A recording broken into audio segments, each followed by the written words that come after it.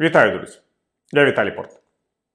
Віктор Орбан, якого якраз сьогодні чергове переобрали прем'єр-міністром Угорщини, тримає у заручниках весь Європейський Союз. Мова йде про схвалення шостого пакету санкцій Європейського Союзу проти Росії, саме того вирішального пакету, який запроваджує нафтове ембарго і має значно підірвати економічні можливості Москви. Напередодні зустрічі очільників зовнішньополітичних відомств країн Європейського Союзу, що е, має розглянути питання запровадження нафтового ембарго, міністр закордонних справ Литовської Республіки Габріеліс Ландсбергіс підкреслив, що весь європейський союз знаходиться у заручниках у однієї єдиної держави. І це при тому, що Угорщина навіть за умови запровадження нафтового ембарго проти Росії отримала від Європейського союзу згоду, що вона буде мати можливість купувати російську нафту аж до 2025 року, що значно збільшує можливості Угорщини по е, пошуку альтернатив е, російській нафті. Однак навіть це рішення не задовольнило прем'єр-міністра Угорщини Віктора Орбана, який продовжує наполегливо виступати проти запровадження нафтового ембарго, і це виглядає швидше політичним, а не економічним рішенням. Віктор Орбан, який відомий своїми е, тісними зв'язками із російським президентом Володимиром Путіним, і відвідував Кремль напередодні російського вторгнення в Україну, таким чином демонструє готовність підірвати єдність Європейського союзу, коли мова йде про найбільш важливі інтереси свого приятеля з Кремля. Варто нагадати, що по суті, рішення Віктора Орбана підписати газовий контракт з Російською Федерацією значно прискорило темпи підготовки Росії до війни з Україною. І це зовсім не жарт. Адже, як відомо, Володимир Путін був впевнений, що передумовою початку такого війни є фактичне позбавлення України її транзитного статусу щоб активні бойові дії на території України не могли завадити Газпрому продовжувати постачати газ європейським країнам.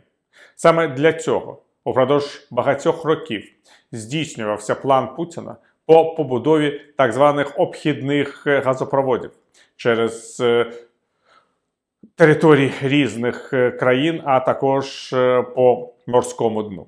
Саме для цього Путін е, запускав турецький потік, Північний е, потік 1 а згодом і Північний потік 2 І експерти, які усвідомлювали те, що відбувається, підкреслювали, що відразу після того, як е, Північний потік 2 буде закінчено, і з'явиться технологічна можливість постачання російського газу в обхід української газотранспортної системи, почнеться велика війна Росії проти України.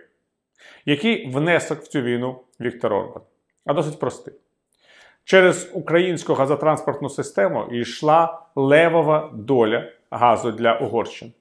Практично весь газ для е, цієї країни постачався за посередництвом української ГТС. І, до речі, це допомагало самій Україні здійснювати віртуальний реверс газу в випадках, е, коли Київ закупав е, його на європейських ринках. Коли Угорщина підписала новий контракт з Газпромом, очевидно, такий, який надавав їй пільгові ціни на російське пальне, разом із цим у Будапешті погодилися, що тепер газ буде постачатися не по українській трубі, а за посередництвом відгалуження від газопроводу Турецький потік, що, звичайно, відразу ж зменшило цінність української газотранспортної системи в очах Володимира Путіна. А найголовніше, Путін точно знав, і тут виникає питання, чи знав про це Орбан, що у випадку нападу на Україну інтереси його Будапештського партнера ніяк не постраждають. Що російський газ для Угорщини буде постачатися у будь-якому разі. Здавалося б, е, після цієї сумнівної історії і після початку війни Росії проти України Віктор Орбан мав би вести себе більш обережно. Та все відбулося навпаки. Як бачимо, угорський прем'єр-міністр е, навіть напередодні виборів до парламенту своєї країни не побоявся жорсткої полеміки із президентом України Володимиром Зеленським, якого він звинуватив у втягуванні Угорщини у війну. Це був головний козир Віктора Орбана під час парламентських виборів. Він підкреслив, що опозиційні лідери, які говорять про необхідність більш активної підтримки України у війні з Росією, втягують у війну Угорщину. А сам він діє як е, лідер уряду миру і нікому не дозволить змінити цей зовнішньополітичний курс. Карта Віктора Орбана виграла. Більшість угорських виборців погодилися із такою логікою, і його партія отримала тріумфальну перемогу на останніх е, парламентських виборах. І тепер Орбан, який може не побоюватися щодо власної політичної долі, вирішив, що здатний кинути відкритий виклик Європейському Союзу. Угорщина дійсно наодинці зараз рятує войовничу імперію Володимира Путіна. І ніхто не може зараз сказати, чи погодиться угорський уряд із нафтовим ембарго, чи буде торгуватися, намагаючись отримати якнаймога більше дивідендів у ситуації з запровадженням цього нафтового ембарго. Чи все ж таки зараз мова йде не стільки про торгівлю, скільки про необхідність захистити інтереси Володимира Путіна навіть ціною перебування самої Угорщини в Європейському Союзі. Можна сказати, що цими днями для європейців просто надходить момент істини.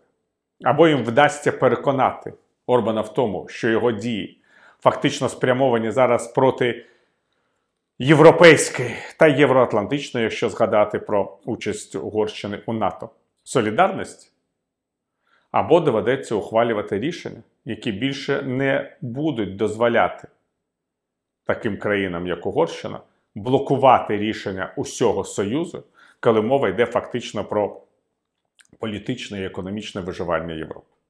Адже без нафтового ембарго, мілітаризацію Росії і її готовність продовжувати війну на сході Європи до вичерпання своїх ресурсів, які просто не вичерпуються, не можна буде зупинити. Віктор Орбан, як досвідчений політик і ветеран європейської політичної сцени, розуміє це краще за багатьох. І можна чітко підкреслити, що діє він свідомо і прекрасно розуміє наслідки своїх дій. А може, враховуючи те, що світ змінюється, а Орбан ні, наслідки своїх дій для Угорщини і для себе, як її прем'єр-міністр, Віктор Орбан якраз зараз і не усвідомлює. Дякую, друзі. Залишайтеся на цьому каналі, підписуйтесь на нього, підписуйтесь на мої соціальні мережі, на канал в Патреоні, який допомагає нам розвивати ці ресурси. Користуйтеся функцією спонсорства у самому YouTube. Миру вам!